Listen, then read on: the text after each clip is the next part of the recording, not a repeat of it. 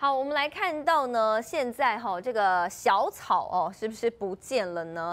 我们看到是柯文哲在礼拜天的时候，哈，他们举在高雄这边办了南台湾的感恩音乐会，可是好像呢，这个小草哈之前选前造势场合非常多人的盛况不在。好，原本呢他们预估有八千人，结果只来了一千人左右。好，我们来看到呢，这个现在哈柯文哲他面临的一个这个状况。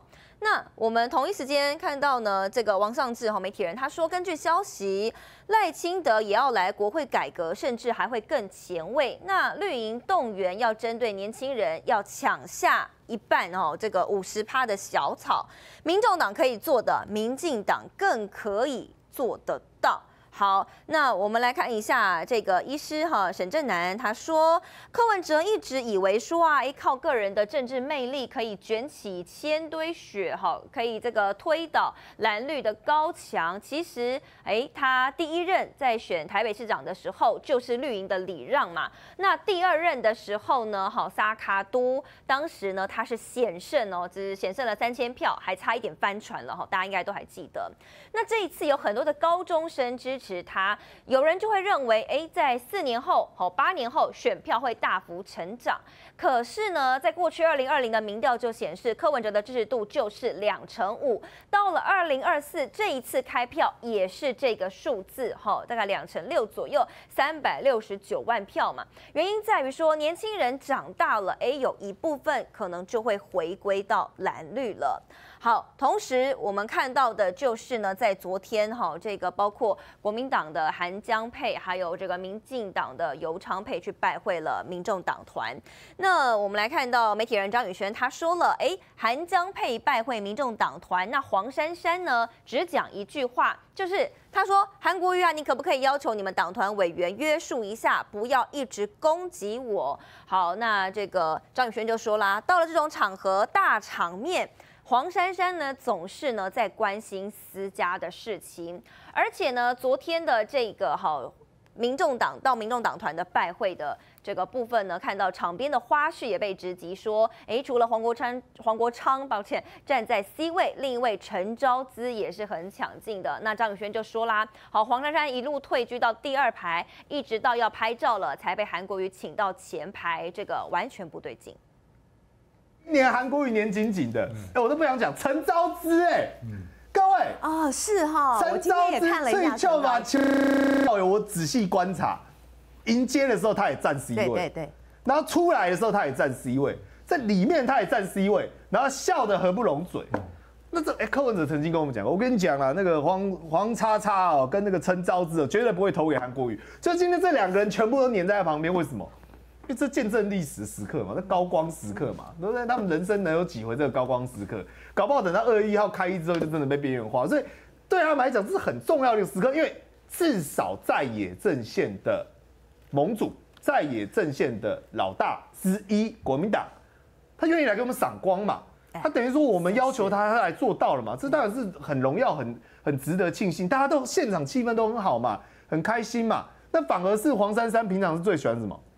站 C 位，然后掌握主导权，要跑哪里去？他本来先在后排，后来是被韩韩国瑜说要拍照，说珊珊呢，珊珊呢，把他拉到前面。那不对劲嘛！整场会议里面讨论到这种五大改革主题的是谁？江启臣，江启臣有刚刚报告说，我们国民党五大愿景：人事审查，包括听证权，哦，包括这个预算透明，然后那个监督，然后这个不能藐视国会，五点都念完了。然后张启凯也有回应呐，哦，那黄国昌回应不用讲了嘛。就你知道黄珊珊都没讲，黄珊只讲一句话，说什么吗？他说：“那个韩国瑜，你可不可以要求你们党团委员约束一下，不要一直攻击我？” 就讲这句，所以我就讲不要攻击我，这是就四亿元等级啊，他的数值就是四亿元数值，就从到底只讲出这种话。好，那我们继续看到的是黄珊珊呢，现在哈外界有传出说她想要选这个台北市长哈，这个继续要参选一次二零二六的部分，那他是不是有可能想要来复制过去柯文哲的这个路线吗？好，亮哥就说啦，黄珊珊想要选台北市长，那他就认为民进党有可能礼让他跟蒋万安 PK 吗？好，江湖上面是有这样的传言，但是你以为台北哦这个民进党是都没人了吗？好，可。是如果你跟民进党要合作的话，你这个时候你怎么在立法院表现呢？难道你会护航吗？那如果你一旦护航了，你会有民调吗？好，你要自己这个好好想一下，要有一些取舍。那我们继续看一下哦，前立委陈富雄说。到底柯文哲在玩什么把戏哦？回答这个问题，他觉得答的最好的就是蔡碧如哈。他说蔡碧如很聪明。那蔡碧如之前呢就讲说柯文哲他现在处在一个否定期，哎，可是现在好像变成了这个愤怒期了。还有呢，就是柯文哲目前还是一直在讨价还价的阶段，很快的在二月一号就要来见真章了哈。到底呢？他们呢说会团进团出嘛，到底会支持这个蓝还是支持绿？好，那我们继续看到现在这个昨天，好，包括国民党的韩江，好，民进党的这个尤昌沛都到民众党团去面试了，所以这关键的八席到底在二月一号会挺谁？好，前立委郭正亮他就分析说，民众党呢是有两种模式思考，来听他的分析。民众党确实有两种思考，就是早眼于二零二六年。那目前做什么策略比较好？好，那黄国昌因为他个人的问政监督的爆发力最强嘛，他就认为应该是定位为在野，这样才能够充分的监督执政党，可以发挥所长嘛。可是另外七个是这样吗？另外七个搞不好不一定是在这方面特别有能力啊。哦，那有一些人就会觉得说，哎，是不是跟民进党发展一点关系？嗯。那二零二六如果要角逐县市长啊，那还有协商联合提名的空间，就会有这种思维了哦。比如说林长佐、洪慈庸，后来果然得到了民进党的礼让提名，啊，我觉得就会有这样的思考了。可是我觉得，我觉得这种思考太一厢情愿了。我跟你保证，民进党百分之百不会让你。对。比如说苏巧慧。让你黄国昌，你不要做梦了。不可能。呃，台北市民进党不提名，让你黄珊珊来代表，我觉得不太可能啦，真的不太可能啦。这个，我我觉得这个就是你对政治现实的评估啦。然后你要汇聚怎样的能量，才对你的发展更有利啊？那这个民众党要想清楚，因为这个绿白河走了下去就没退路了。我最近试了一个东西，真的很有用啊，所以要分享给大家，那就是太阳星全效克菲尔益生菌。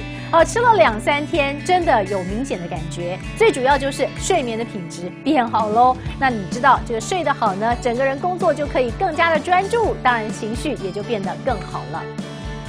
因为太阳星全效克菲尔益生菌，我才认识了这个克菲尔益生菌。